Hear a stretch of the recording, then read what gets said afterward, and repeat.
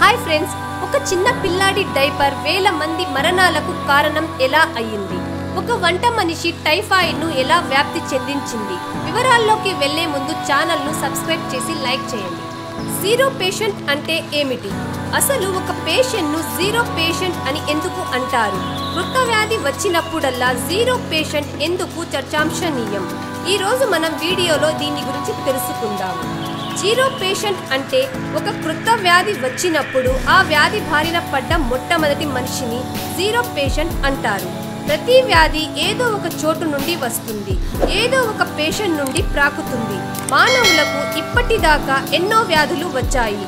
అన్నిటినీ సమర్థవంతంగా ఎదుర్కొంటున్నారు. కొన్ని వ్యాధులను ఆపగలుగుతున్నారు.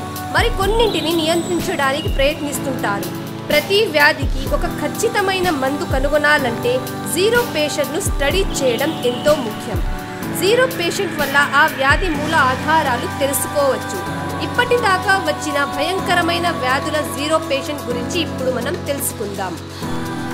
ఎబోలా ఇప్పటి వరకు ఈ వ్యాధికి సరైన మందు కానీ వ్యాక్సిన్ కానీ లేదు.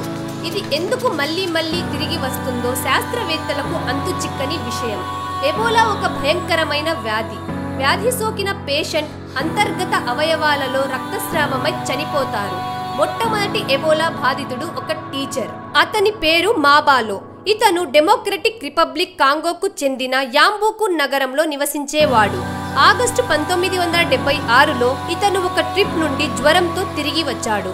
మొదటిలో ఇది ఒక మలేరియా ఫీవర్ అని భావించి మందులు తీసుకున్నాడు. కానీ జ్వరం తగ్గకపోగా భయంకరమైన వాంతులు ఊపిరి ఆడకపోవడం అంతర్గత అవయవాలలో రక్తస్రావం జరిగి చనిపోయాడు. మాబాలో చనిపోయిన అతనిలో ఉన్న వైరస్ మాత్రం చనిపోలేదు. ఇతనికి దగ్గరలో ఉన్న వారందరూ చనిపోవడం ప్రారంభించారు. ఇలా తొంభై పర్సెంట్ మంది ఆ నగరంలో చనిపోయారు. అత్యంత ప్రమాదకరమైన ఎబోలా రెండు వేల పద్నాలుగులో ప్రారంభమయ్యింది. రెండు వేల పదహారు వచ్చేసరికి దాదాపు పదకొండు వేల మంది చనిపోయారు. కలరా విక్టోరియన్ లండన్. కలరా వల్ల ఎంతో మంది అనారోగ్యానికి గురి అయ్యారు. కేవలం పది రోజుల్లో దాదాపు ఐదు వందల మంది చనిపోయారు.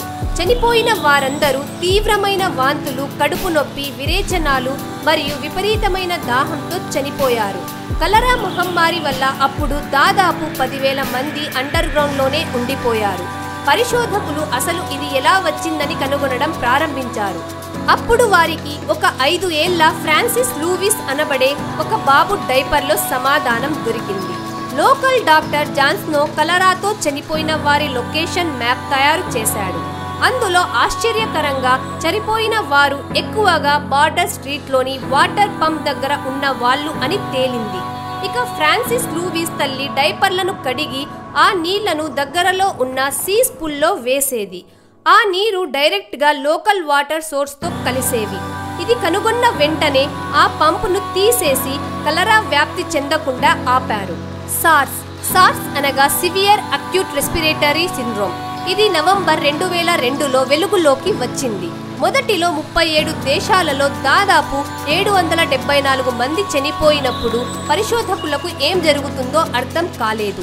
చాలా మంది తీవ్రమైన అనారోగ్యానికి గురయ్యారు. ఏమి జరుగుతుందో తెలుసుకునే ముందు ప్రపంచం అంతా ఒక క్రొత్త మహమ్మారిని చూసింది. ప్రపంచం అంతటా ఇది ప్రాకడం మొదలు పెట్టింది మొదటిలో దీనిని ఎటిపికల్ నిమోనియా అనేవారు. ఒక మెడికల్ డాక్టర్కు ఈ వ్యాధి సోకి చైనాలోని గ్వాంగ్డాంగ్ నుండి హాంకాంగ్కు వెళ్ళి అక్కడ హోటల్ మెట్రోపూల్లో ఉండి ఈ వ్యాధి హైపర్ ఇన్ఫెక్షియస్ అని వెల్లడించాడు. ఈ డాక్టర్ చనిపోవడానికి ముందు హోటల్లోని పన్నెండు మందికి ఈ వ్యాధి సోకింది. ఆ పన్నెండు మందిలో ఒక స్త్రీ స్యూచు క్వాన్ డాక్టర్కు దగ్గరగా ఉండేది. తను ఆరోగ్యంగా ఉందనుకొని కెనడాకు ప్లేన్లో ప్రయాణించింది.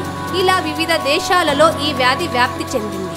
టైఫాయిడ్ ఎయిటీన్ ఎయిటీ ఫోర్లో మేరీ మెలాన్ అనబడే ఒక పదహైదు ఏళ్ళ అమ్మాయి ఐర్లాండ్ నుండి యుఎస్కు వచ్చింది. ఇంటి పని చేయడం అలవాటు ఉండడంతో యుఎస్లో మేడ్గా పనిచేయడం మొదలుపెట్టింది. పంతొమ్మిది వందల ఆరు నాటికి మ్యారీ ధనవంతులైన వారెన్ కుటుంబంలో కుక్ స్థానానికి ఎదిగింది. వేసవి కాలంలో వారెన్ కుటుంబం లాంగ్ ఐస్లాండ్లోని ఓస్టర్ బేలో గడిపేవారు. వాన్ ఫ్యామిలీకి మేరీ వల్ల ఎటువంటి సమస్యలు ఉండేవి కావు. కానీ యాదృచ్ఛికంగా ఇంతకు ముందు మేరీ పనిచేసిన ప్రతి కుటుంబంలోని వారు తీవ్ర జబ్బు బారిన పడేవారు. మేరీ పనిచేసిన ఎనిమిది కుటుంబాలలో ఏడు కుటుంబాలు టైఫాయిడ్ బారిన పడ్డారు. మేరీ అన్ని కుటుంబాలకు ఒకే వంట మనిషి కావడంతో దీనిని గమనించిన అక్కడి పరిశోధకులు మేరీ టైఫాయిడ్ క్యారియర్ అని నిర్ధారించారు. మేరీకి ఎటువంటి ఆరోగ్య సమస్యలు ఉండేవి కావు. అందుచేత మేరీ వారి మాటలను గట్టిగా నిరాకరించేది. పంతొమ్మిది వందల ఏడు వరకు న్యూయార్క్ ఒక టైఫాయిడ్ సెంటర్గా మారింది. దీనికి కారణం మేరీ మెలాన్ అని ఆమెకు రెండు సంవత్సరాలు బలవంతంగా నార్త్ బ్రదర్ ఐస్లాండ్లో ఉంచారు. చివరికి రెండు సంవత్సరాల తర్వాత మేరీ విడుదల అయ్యింది. విడుదల అయిన తర్వాత మేరీ పేరు మార్చుకొని ఒక మెటర్నిటీ హాస్పిటల్లో కుగ్గా చేరింది. చేరిన కొద్ది రోజులకే మరోసారి టైఫాయిడ్ వ్యాప్తి చెందింది. ఈసారి మేరీను పర్మనెంట్గా ఈస్ట్ రివర్లోని పెస్ట్ ఐలాండ్లో బంధించారు. మేరీ పంతొమ్మిది వందల ముప్పై ఎనిమిది నవంబర్ పదకొండున ఐసోలేషన్లోనే చనిపోయింది. ఇలాంటి మరిన్ని ఇంట్రెస్టింగ్ వీడియోస్ కోసం ఛానల్ను సబ్స్క్రైబ్ చేసి లైక్ చేయండి.